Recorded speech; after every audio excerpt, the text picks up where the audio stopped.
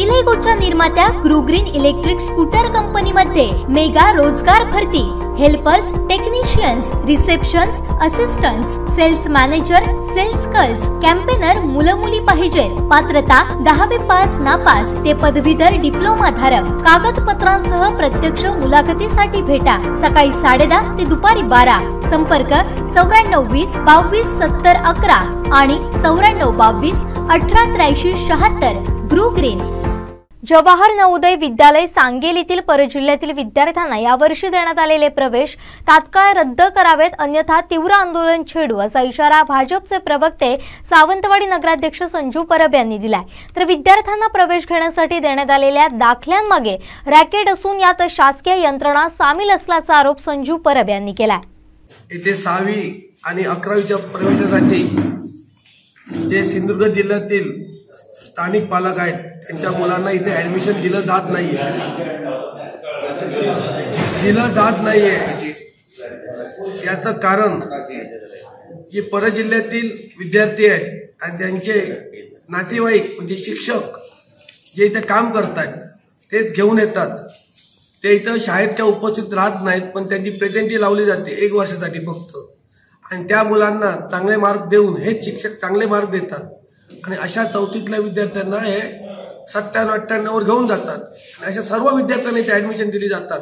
पण जो स्थानिक विद्यार्थी आहे ज्यांना याच्यातलं काय माहिती नाही आहे उदाहरणार्थ डॉक्टरांची मुलगी आहे तिला चौऱ्याण्णव टक्के पडलेत पाचवीत. तिलासुद्धा इथं ॲडमिशन दिलं जात नाही. किंवा सावंतवाडी जे अर्बन एरिया आहेत शहरातले त्यांना तीस टक्के राखीव आहे. एकच विद्यार्थी घेतले बाकी सगळे ग्रामीण भागातले बोलले. हा विद्यार्थी मडवायला सत्त्याण्णव टक्के दहावीत आहेत. पण त्यालासुद्धा ॲडमिशन दिलं गेलं नाहीये. हा शेतकरी आहे. ह्याला तीन मुली आहेत. एक त्याला वाटतं की एक मुलगी आपली शिकावी. त्याच्या मुलीला सुद्धा नव्वद टक्के आहेत. पण ह्या गोष्टीमुळे त्याच्या मुलीला सुद्धा ऍडमिशन मिळत झालं असे अनेक विद्यार्थी आहेत. दरवर्षी हेच चाललंय. आणि तहसीलदार किंवा शासकीय यंत्रणा असेल याची कुठचीच प्रकारची पडताळणी करत नाही. आणि त्यांना दाखले दिले जातात. या वर्षीचे दाखले दिलेले ऍडमिशन जर कॅन्सल नाही केली तर आम्ही नक्कीपणे कलेक्टरकडे दाद बघू आणि याच्या विरोधात आज बोलतोय दुसरी प्रेस आहे याबद्दलची माझी. तिसऱ्या वेळी प्रेस घेणार नाही तिसऱ्या वेळी माझं याच्यावर आंदोलन असेल जे आहेत ते रद्द करावेत. आणि स्थानिकांना प्राधान्य द्यावं. हे रॅकेट आहे. रॅकेटशिवाय असले कामं होत नाहीत. त्याच्यात आमची शासकीय यंत्रणा सुद्धा कामाला या रॅकेटमध्ये आहे. माझा पूर्ण आरोप आहे परराज्यातील विद्यार्थी दरवर्षी कसे येतात? आमच्या विद्यार्थी कोण? हुशारच नाही आहेत का जिल्ह्यातले? कोकणात एक नंबर लागतो.